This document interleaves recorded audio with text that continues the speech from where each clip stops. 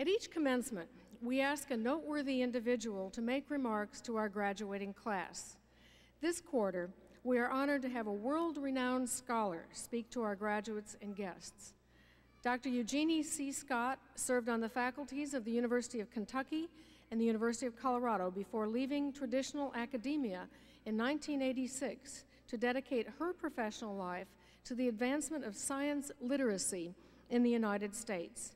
She accepted the position of Executive Director of the National Center for Science Education, a nonprofit science education organization with members in every state. Since then, Dr. Scott has worked nationwide to communicate the scientific method to the general public and how to improve on how science is taught in the schools. Dr. Scott is frequently called upon by the print, radio, and television media as a spokesperson for the scientific view, especially when conflicts arise between scientific and pseudoscientific explanations. She's nationally recognized as a proponent of the separation of church and state and is a member of the American Association for the Advancement of Science Dialogue on Science, Ethics, and Religion Committee. An internationally recognized expert on the creation evolution controversy, she's consulted with the National Academy of Sciences, several states' departments of education, and legal staffs in both the United States and Australia. Dr. Scott has been honored by scientific societies, educators and community organizations, including the National Science Board, the American Society of Cell Biology, and the Geological Society of America. The California Science Teacher Association awarded her its Distinguished Service Award, and she has also been honored by the American Humanist Association, the Skeptics Society, and the Center for Inquiry. It is my very great privilege and honor to introduce Ohio State's Winter 2005 commencement speaker, Dr. Eugenie C. Scott.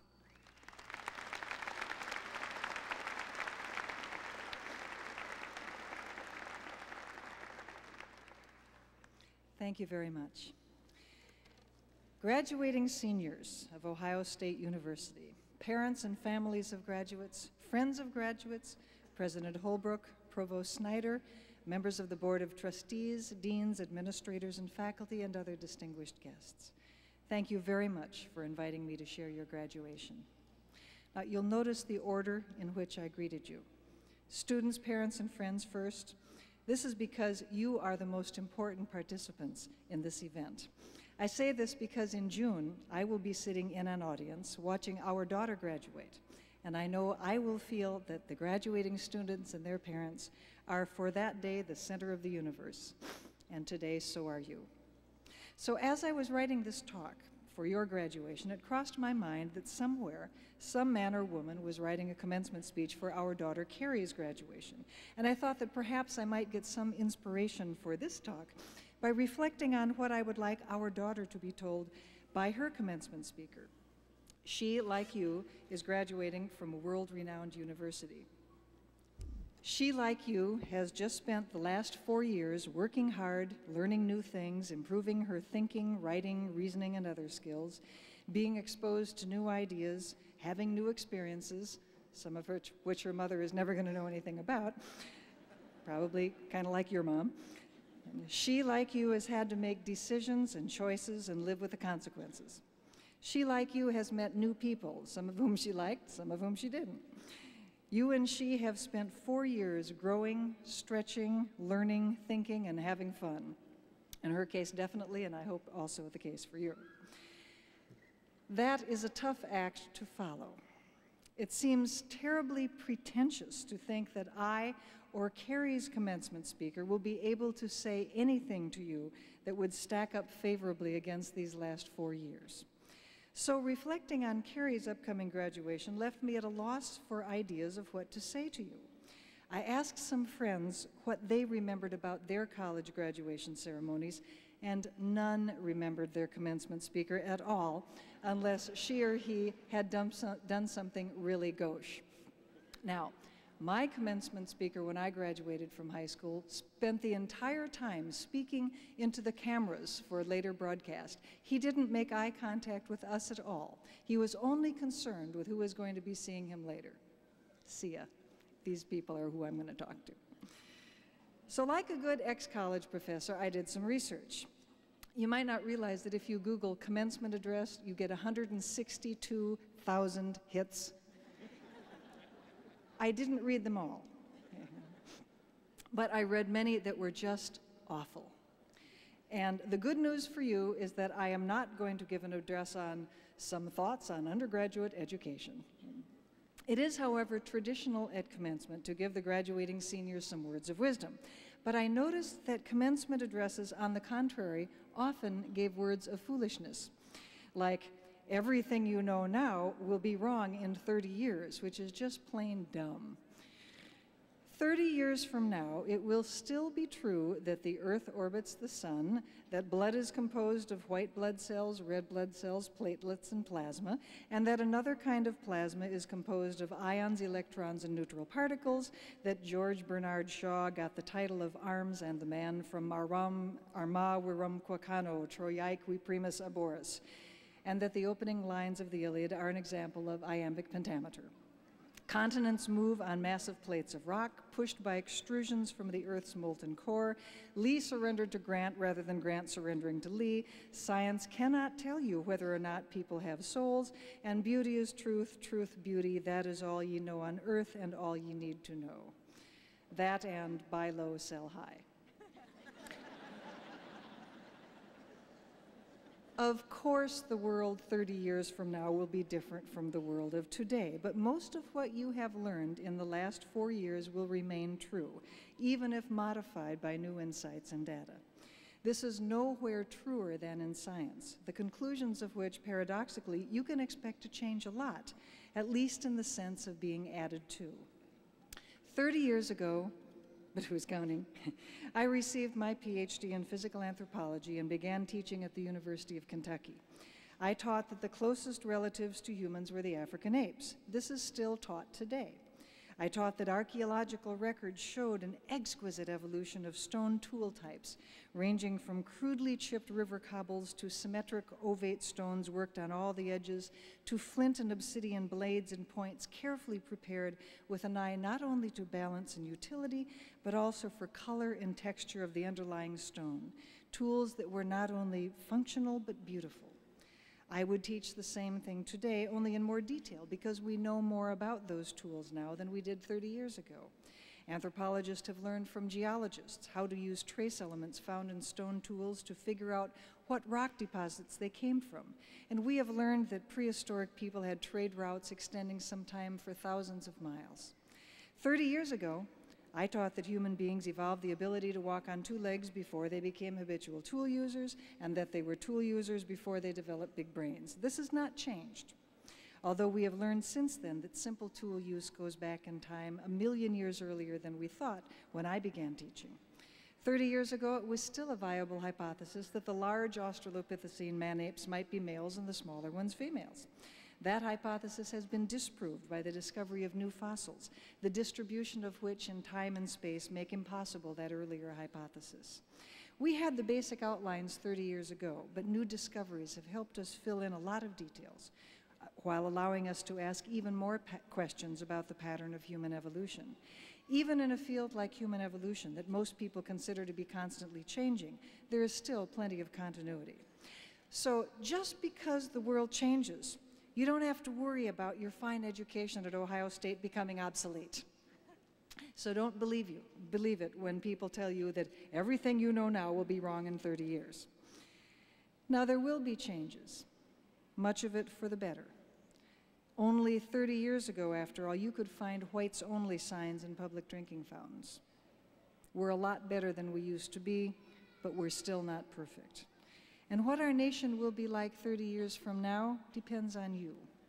Will it be a kinder, more compassionate place? Will we preserve the beauty and fruitfulness of our country and the freedoms of our people? Will the opportunity for prosperity be shared?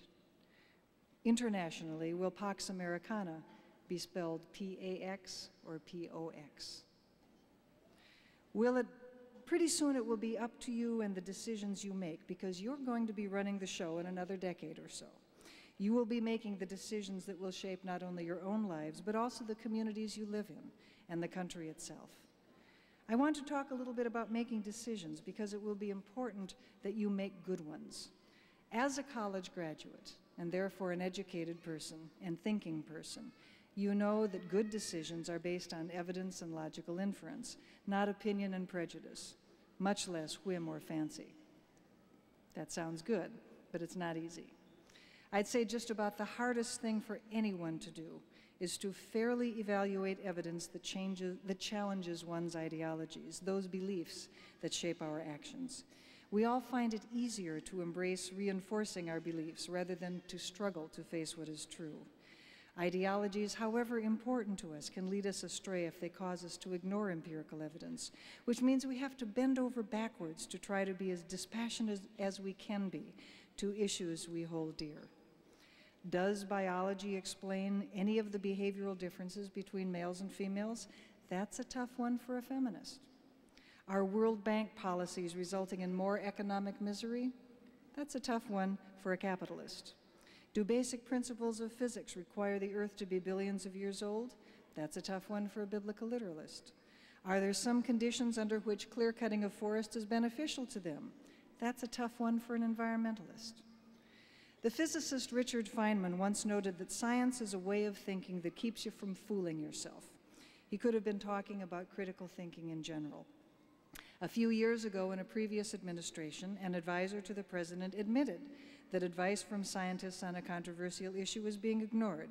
He said, We know what they want to do, they'll only give us contrary advice. I don't think anyone believes that's the way to make good decisions.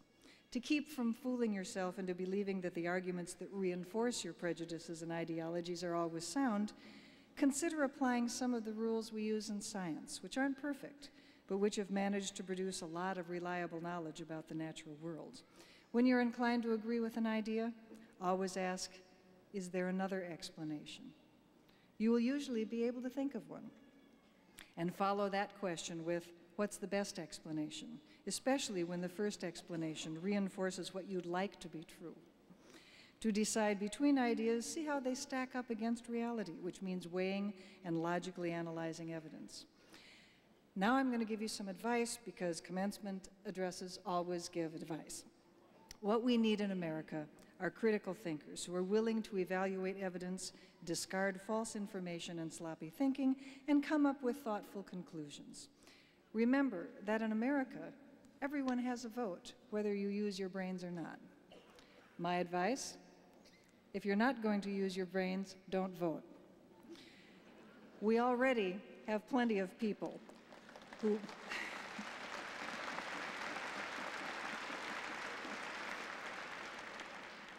You never really know what an applause line is going to be. we already have plenty of people who vote for a candidate for unthinking reasons. She's a woman, I'm going to vote for her. He's a nice guy, the other one's a stuffed shirt, so I'm going to vote for him. He's a famous movie star, so I'm sure he'd make a good governor. okay, so I'm from California. Something you learned in your college courses is to do your homework. you thought that was behind you. Wrong. You're going to be doing homework all your life. It's practice for living. So do your homework when you're running this country in a few years. Keep asking, is there another explanation? And don't just go with the one that seems good enough. The most difficult thing to do is to keep looking for that better explanation, but that's what you have to do if you're going to be a critical thinker. Because in truth, what distinguishes an educated person like you is not just the amassing of information, which of course is going to change over time, and some of you will contribute to that, but the acquisition of the skills of critical thinking, and that's something you can practice all your life. So that's the good advice part of this commencement address. Like everyone else who attends a university graduation, you will probably not remember it. What you will remember about this occasion, though, is the love, happiness, and pride of your families and friends in your accomplishment. And that, after all, is worth sitting through a commencement speech, however pretentious such things are. Thank you for allowing me to be part of your ceremony. I am proud to join you as a fellow graduate of Ohio State University.